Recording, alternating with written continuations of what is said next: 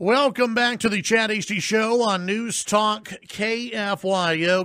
This time last year, we were in Washington, D.C. at the uh, Fair Hold Their Feet to the Fire uh, Immigration Radio Row. Uh, and that's where uh, we, we met our, uh, our next guest. Uh, who's joined us a few times here on the program to talk illegal immigration and also rule of law, which is a big thing that I, it, I, think it's going to be a big issue uh, in this uh, campaign uh, between uh, President Trump and Joe Biden. Uh, our next guest here on the program, a former uh, agent who headed the DEA Special Operations Division, good friend of the show, Derek Maltz, here on the Chad Hasty Show.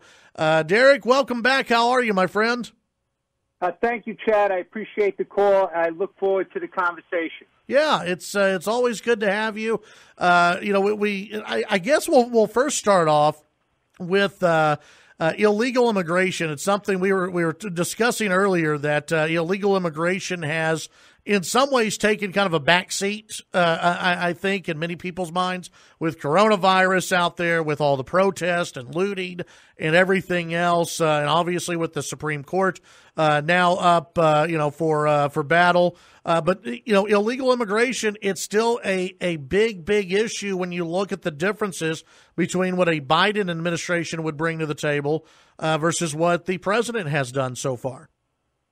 Right. So, Chad, I mean, illegal immigration hasn't stopped, and the consequences haven't stopped. Last night, a brave Border Patrol officer down in the Nogales doing patrol had to be, uh, you know, was stabbed multiple times and then had to uh, kill the suspect, you know, who was trying to get into the country, right?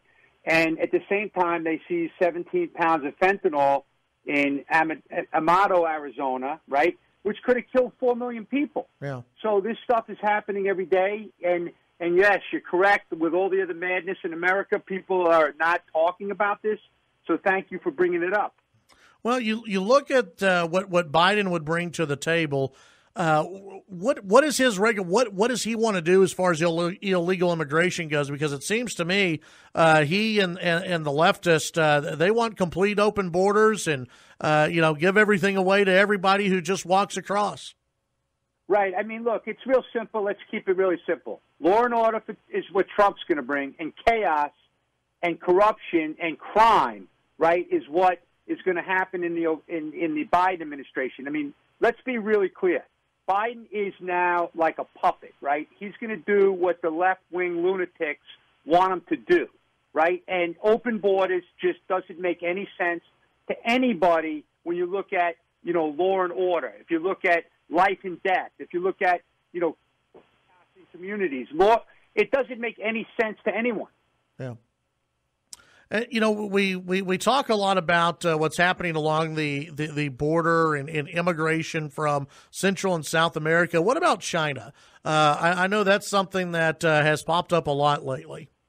Okay, so let's let's let's talk about this as far as China's role in international drug trafficking, but specifically to the chaos in our country. Let's look at the Border Patrol statistic, the CBP statistics for meth last year alone. 160,000 pounds of meth was seized, 94% increase. 45% increase in fentanyl seizures at the border, over 4,000 pounds. Now, here's what most people in America don't talk about, Chad, is that the chemicals to produce this massive amount of meth are coming directly from China and other countries in Asia. But the fentanyl, as you know, is being produced in China, very pure fentanyl that's killing our citizens at unprecedented levels. But China's role has expanded in the drug trafficking world. So, like, in, as an example, with the money laundering, these multi-million dollar money laundering pickups in America, the Chinese now are controlling the money laundering for the Mexican cartels. They have brokers that sit in Mexico that work with the Sinaloa cartel, that work with the Jalisco cartel, and collect the money, you know, charge very little commission, and move the money around the world so the cartels can flourish. But the biggest thing, Chad, that people are not talking about is China's a communist country that wants to destroy their adversaries. We are an adversary of China. They dumped this, this Wuhan virus into our country. They dumped the fentanyl. They dumped the synthetic chemicals. They're dumping the, the methamphetamine. And we're not talking about mom and pop operations. Hmm. In Mexico, these labs are producing like seven tons in three days. That's why, like in Atlanta two weeks ago, they seized 2,000 pounds of meth. That's unheard of in America. And the other thing is, like, people getting caught up in the opioid crisis, right, and the pill crisis. But what's killing our citizens now is what's coming from China and Mexico. And so, how, how, do we get a handle on it? And I know the the administration is is is you know that they've stepped up, uh, you know what they can do, but I mean, there's there's obviously more that can be done.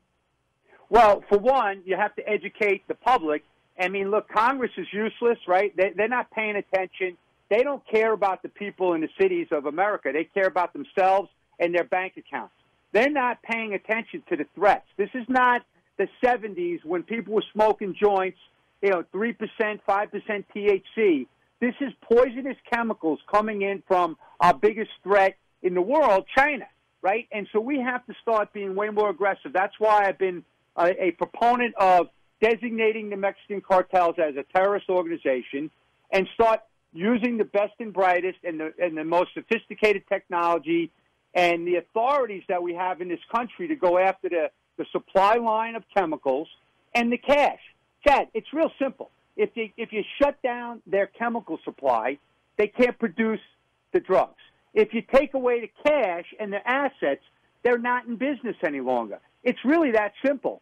So apply the resources, get the agencies to work together, stop the madness uh, of not sharing information, and go after these people like they're a real threat to America. 70,000 people died last year from drug overdoses, right? This is serious. I don't know why the public is not talking about it. And a lot of this has to do with illegal immigration. You have people that come into this country to work for the cartels in these different cities. Like in, in a lot of these arrest operations, all you got to do is ask how many of those people are illegal. And you'll see a majority of these people are illegal that are involved in the command and control movement of drugs and money in this country. Derek, uh, you brought up something earlier, and, and uh, I remember that uh, the administration at one point and the president had mentioned that uh, he wanted to designate uh, some of these um, cartels as terror organizations, and then the news kind of went away. Uh, we we haven't heard anything new uh, after that announcement. Have you heard anything new, or is is the uh, are you know are we are we doing anything different when it comes to uh, taking on the cartels? All right, great question. So it's like a roller coaster ride. The president wants to protect America, and that's why he came up with the idea of designating them as terrorists.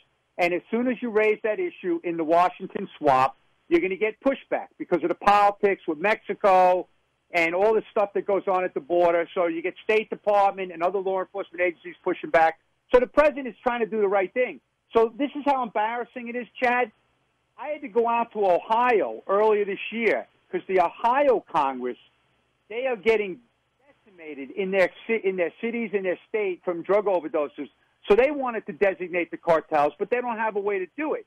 So what they did is they had hearings to vote on should we designate the cartels as terrorists. They got unanimous support in a bipartisan way in the in the House and Senate in, in Ohio to try to help you know push the uh, you know the bureaucrats to do it. Chip Roy in Texas has been phenomenal. He's been a leader in designating the cartels as terrorists because he sees the devastation firsthand in Texas, right? And so basically, the bottom line is, Chad, we really haven't seen any movement. President would, would definitely do it, but he's getting bad advice, as he does in many cases. They're not giving him the right information. So basically, people are going to continue to die. And that's the bottom line. We have to start doing things differently. Like, what was it, Einstein that said, you know, the definition of insanity is doing things the same old way and expecting different results? Well, guess what? It's getting worse. That's why the deaths are rising. That's why the destruction of families is, is going up. That's why a lot of this gang violence is escalating in Chicago and other cities because the drug crisis is escalating.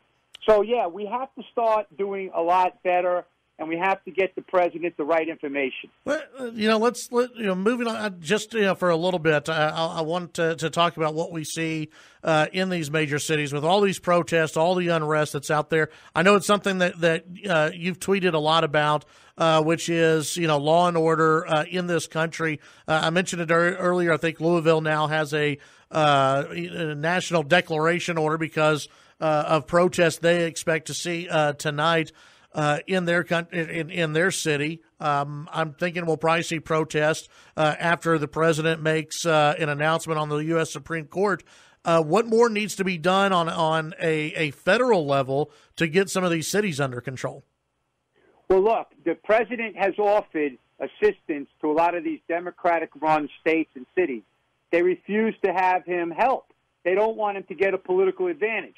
The reality is, is innocent store owners, innocent people are getting hurt. I mean, the fires, the looting, you know, putting police cars on fire, and this nonsense of defund the police. You know, Chad, I can tell you, I've been involved in law enforcement over 30, 35 years. I have never met a cop that wants to go out and hurt somebody because of their skin color or because of their race.